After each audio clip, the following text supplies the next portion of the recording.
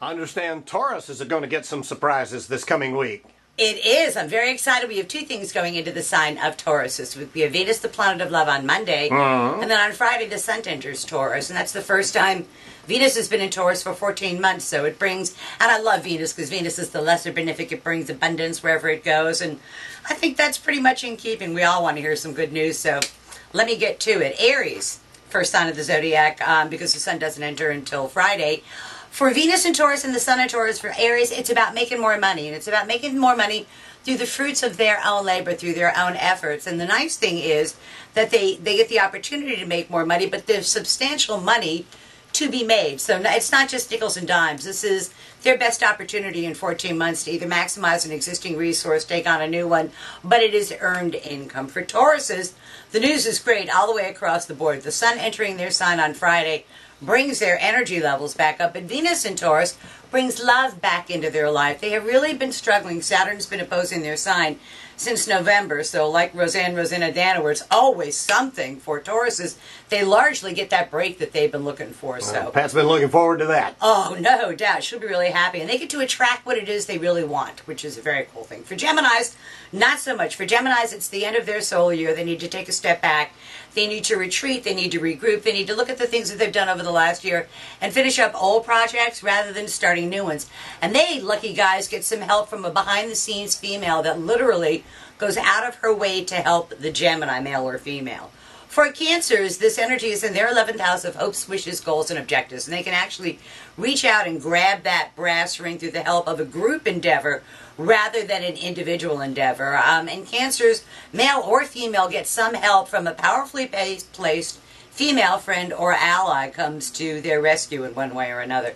For Leo's 10th house of career and public standing, time to put your money where your mouth is. You've said all along, Leos have said, you know, if I had the opportunity, I would do this, this, and this, and this is the month they do this, this, and this. And, and I think the powers that be like what it is that they see. They also get some sort of professional assist from a female. Okay. For Virgos, important matters at a distance go their way. Legal matters, educational matters, contracts, negotiations.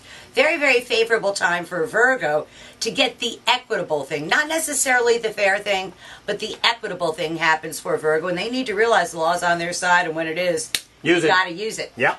Um, for Libras, the money gods, Andrew and Nikki, are smiling on Libra. And this is unearned income. This is money that literally falls out of the sky on them. This is money, the result of either work done in the past. Um, but whatever, the upshot is they have more money at the end of their month instead of more month at the end of their money. So that's great news. So Andrew's going to be out at the Hard Rock. I can tell you that. Probably, Yeah. and, and being rather lucky at the Hard Rock as well. Not that I want to encourage that, but you're going to go, boy, that's a place to do it. Yep.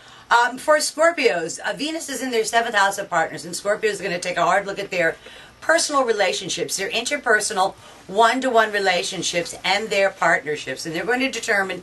I imagine they're going to have a whole lot of new best friends coming in their lives, saying, "I can do this and this and this for you," and they need to be very, very discriminating as to who they pair up with, who they partner up with, and kind of nice to have a selection to do that with.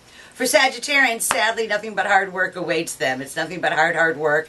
Um, and some opportunity occurs to them in the work environment. It's not a better job, it's not a promotion, but some obstacle that had been in their way gets out of their way so they have a much clearer career path. And I know Sagittarians are the procrastinators of the zodiac and they've been procrastinating about a medical thing. It's not as bad as you're afraid it is, so just take care of it. For Capricorns, love, pleasure, amusement, sports. Capricorns have been working very, very, very hard the last four or five months, and they pretty much have things the way they want them now. Now it's time to reward themselves a little bit, a little bit of an indulgence, either a vacation. If they're single, it'll attract somebody. If they're married, they really, truly feel the love, and it's a very fertile time for Capricorns. For, yeah, they oh. need to know that. For Aquarians, it's in their fourth house of home, and Aquarians, much like the rest of the United States, are welcoming springtime and doing spring cleaning and straightening things out at home and trying to, to beautify their home or make their home a more secure, safe place for them to operate out of. And then for Pisces, the last sign, they're the ones that are going to have to hit it and get it. The pace of their day to day living is about to pick up to warp speed. They've got places to go, people to see, contracts to negotiate, things to do. They have a little bit of an upper hand, not a huge one, but a big enough one to where they can afford to be gracious um, in their negotiations and dealings. So that is tomorrow's news today. And then um, I wanted to mention that Saturday night I'm going to be at the Palm Harbor Library. They're having a fundraiser, and I'll be doing little readings for $10 donations to the library between 7 and 9. So come on out and see me. Great thing to do. I love And we'll see you back here next week. Always a pleasure. Have a great week.